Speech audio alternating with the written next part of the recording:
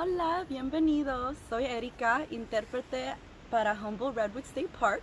Hoy es sábado y todavía estábamos celebrando la Semana de Conservación Latina.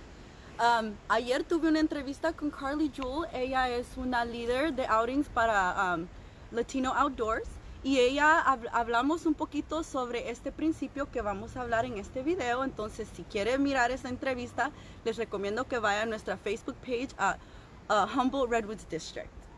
Bueno, vamos a empezar con el video de hoy que va a ser sobre, otra vez, para recordarles, estamos haciendo los siete principios de no dejar rastro y hoy este video será el, video número dos con el principio dos que es viajes y campamentos en superficies duraderas. El daño de viaje ocurre cuando la vegetación superficial o las, o las uh, comunidades Ah, de organismos ah, son pisoteadas ah, más, más allá de, su reparación.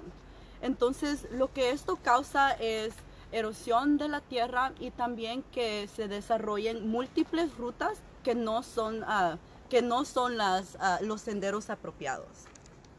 Entonces, vamos a caminar aquí por este eh, sendero que no es un sendero.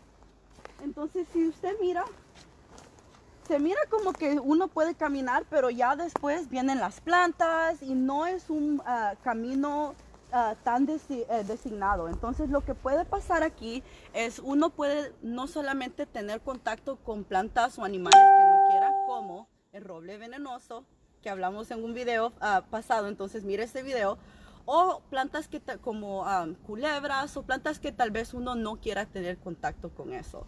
Y también, ¿qué puede pasar si yo sigo en este camino?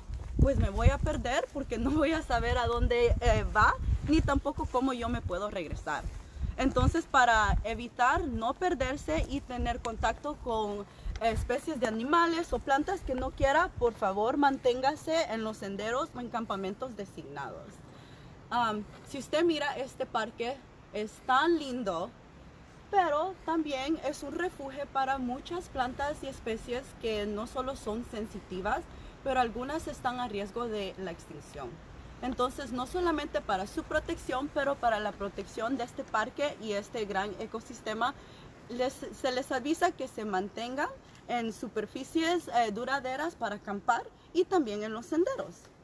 Bueno, ya si usted decide que, bueno, tengo que ir al campo, tengo que salir no en lugares donde están designados, pues se les eh, avisa que usted mire por eh, superficies duraderas, como gravía, nieve profunda, obvio, un sendero, capa orgánica muerta, pasto seco o, o un suelo expuesto. Si quiere acampar en nuestro parque de Humble Redwood State Park o otros parques de California, se les avisa que vaya a reserve.california.gov y ahí usted puede ver los diferentes lugares donde puede acampar y también elegir el campamento que quiera.